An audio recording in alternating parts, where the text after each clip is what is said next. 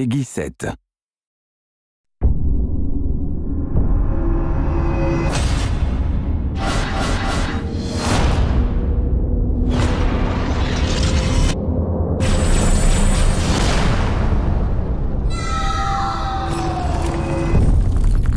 Ah, not my best moment.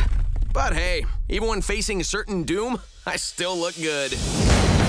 It was just a regular day, foiling another one of Dr. Eggman's evil plans. Uh-oh. The next thing I know, we're on the steps of some really old and smelly tomb. Then, old snake breath here gets out, which really put a damper on my weekend plans. I'm going to rid this world of all organic life forms and rebuild it piece by robotic piece. Somebody needs a hug.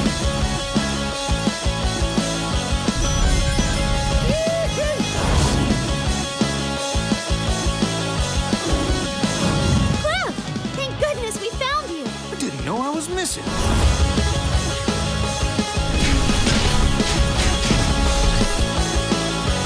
The time has come to finish what we started. Rise, my warriors! This is going to be so awesome!